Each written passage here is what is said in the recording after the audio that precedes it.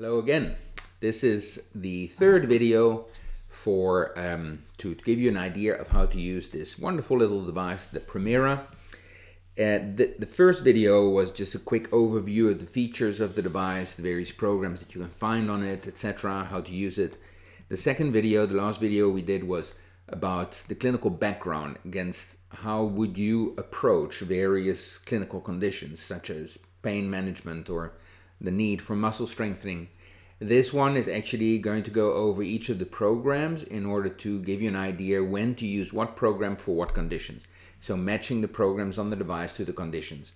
There's two slides in this whole slide deck that I think you might want to print out and hold for ready reference, although the same tables and the same information is also printed in the user manual.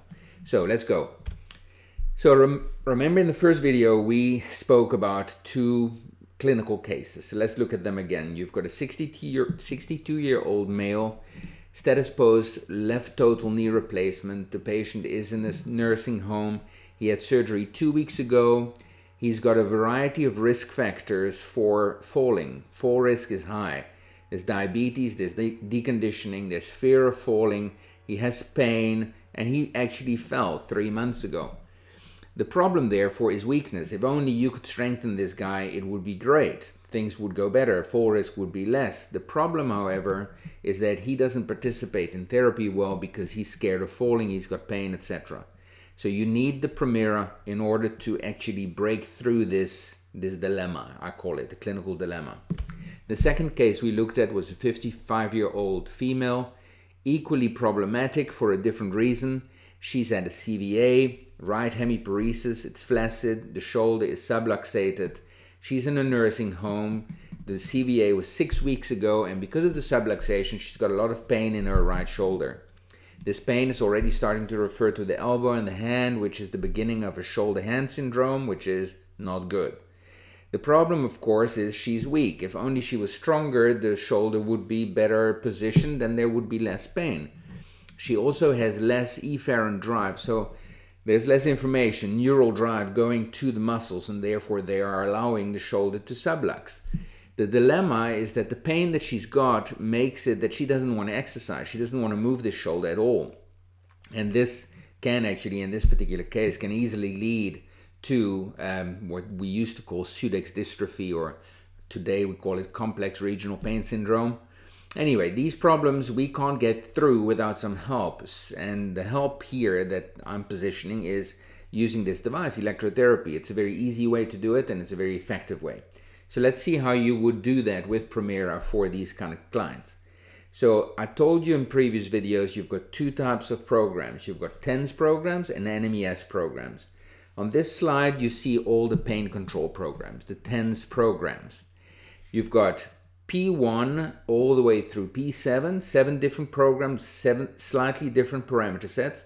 And then you've got a final one, which is the HAN program.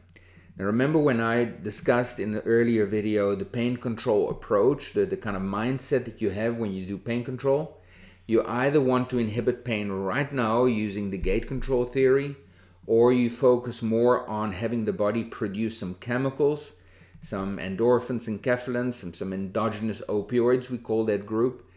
And that pain relief will then last a little bit longer. Many times you'll find yourself doing a little bit of both, but depending on what you want to achieve, you'll you'll pick one more or more or less than the other. So let's look at how these programs fit in that way of thinking. The first two, programs one and two, and programs six and seven, are really good and appropriate and fit the model very well for gate control. So let's look at the differences in the settings. P1 is a continuous outflow of current at 80 pulses per second with a phase duration of 200 microseconds. P2 is similar. It's a higher frequency still. It's 150 pulses per second, but the phase duration is a bit narrower. If you compare these two, they will do more or less the same thing. So you might ask yourself, well, when do I use the one or the other? It's hit or miss. Try them both. In one, what I will often do is I say to myself, okay, patient, I think you need this gate control theory right now in order to allow me to inhibit your pain. I'm going to start with P1 If that doesn't work, I may switch to P2, but I'm still going to pursue the same type of idea. P6 and P7 are also high rate programs. If you look at the rates, it's 100, then 65, then 100. So what the machine is doing on P6, it is switching between frequencies, but the frequencies are high. It also switches between phase durations from 200 to 100 to 200, and it does so continuously. What that constant changing does is that it prevents accommodation. The body can't get used to the sensation, and that's a good thing because as long as you feel it, you get the pain relief. So P6 is more or less the same as P7. Similarly to P1 and P2, they're very much the same. So if I make it simple, if you want gate control, if you want pain relief right now, pick P1 or P2. If you're concerned about accommodation or if you also want to prevent accommodation, pick P6 or P7. So that's that one. The next group of pain control programs on here is P3, P4, and P5. They are all focused more on having the body produce these endogenous opioids. Let's look at them each in, in sequence. P3 is a low rate, constant program at two pulses per second. So the patient will feel pop, pop, pop, pop, pop. That's how it feels. The phase duration not very wide, 175. If you look at P4 and P5, they are bursts. If you look at the burst frequency, it's still two stimulation cycles per second. So it still feels to the patient the same way. Pop, pop, pop, pop. It's, but every stimulation is no longer a single pulse, but it's a burst of multiple pulses that are 200 in the case of P4 or 75 microseconds long. And in the case of P4, there's 150 pulses of those. And in the case of P5, the same way. Uh, the rate is 150 pulses per second. So the way to compare it is kind of like comparing a single shot to a machine gun. So in P3, you have a single shot twice a second, pop, pop, pop, pop. Whereas in P4 and P5, you have two bursts every second. Prop, prop, prop.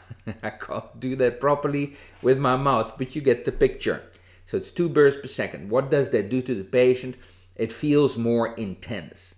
Every burst is also much longer than a single pulse. It's 60 milliseconds long.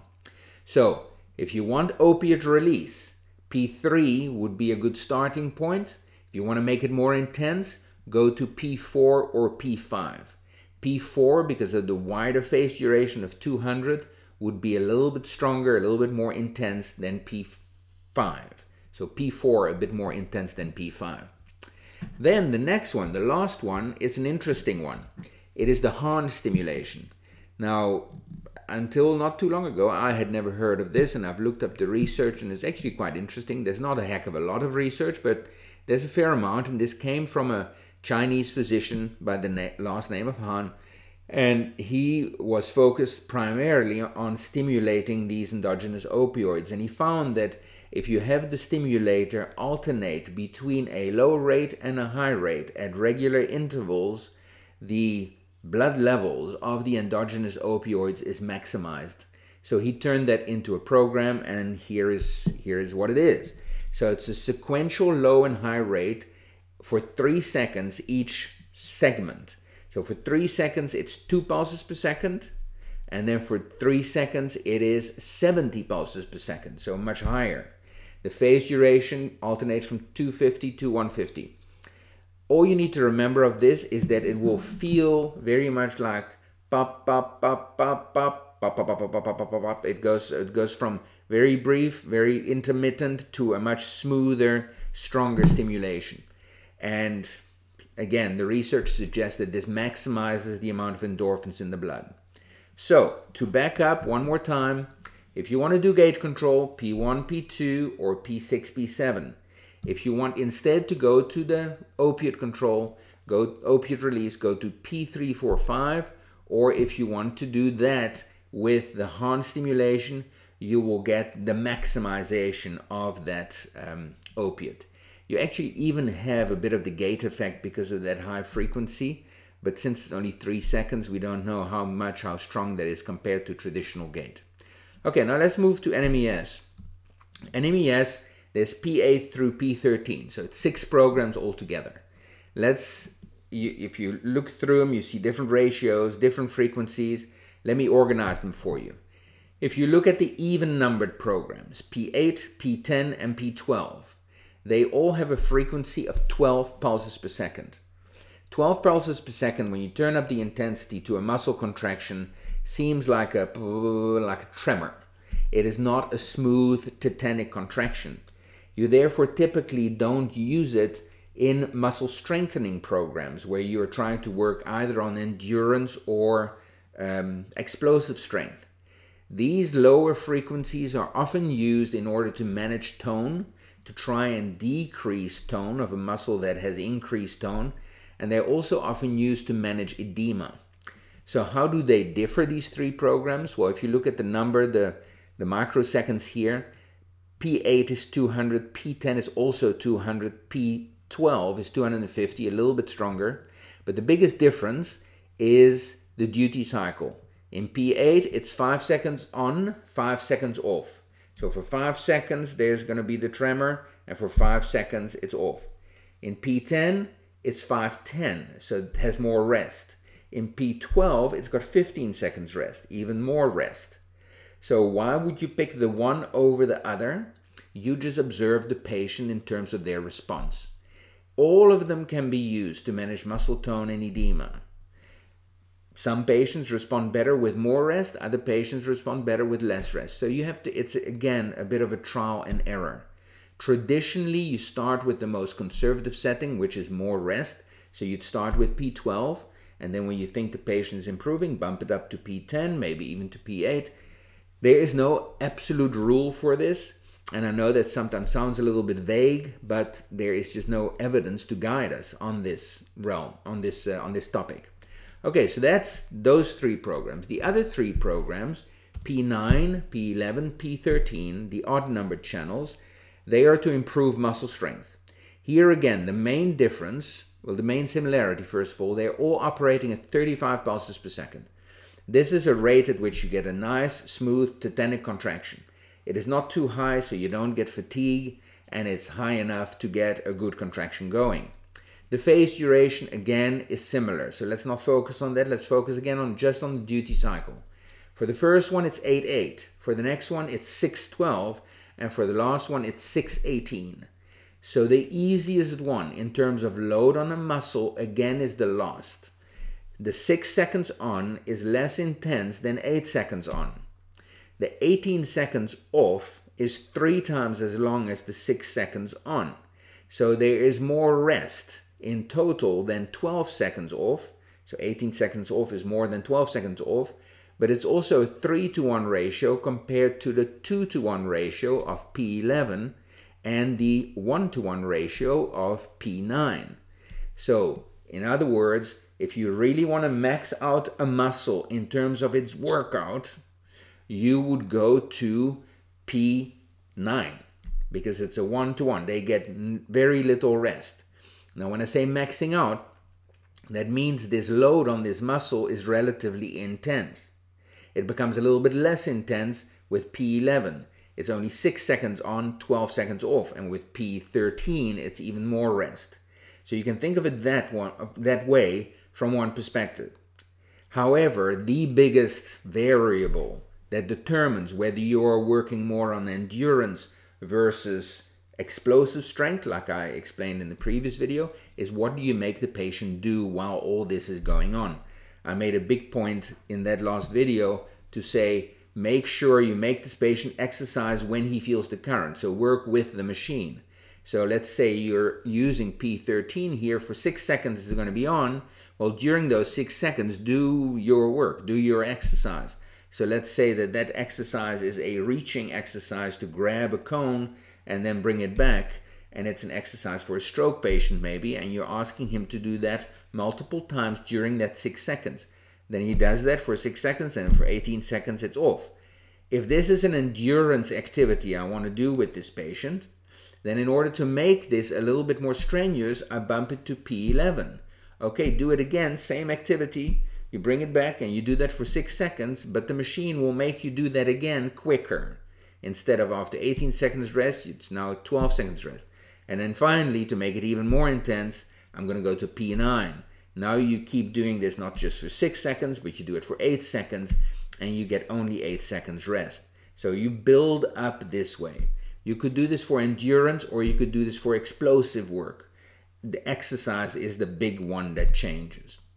Okay, that is it for this presentation. I hope that it helped. So you've got pain programs, you've got exercise program, I mean um, NMES program, muscle strengthening programs. Pick the program that, that fits your needs the best. Start with that. If you want to increase the effort a little bit, change it a little bit, it's all yours. Thank you.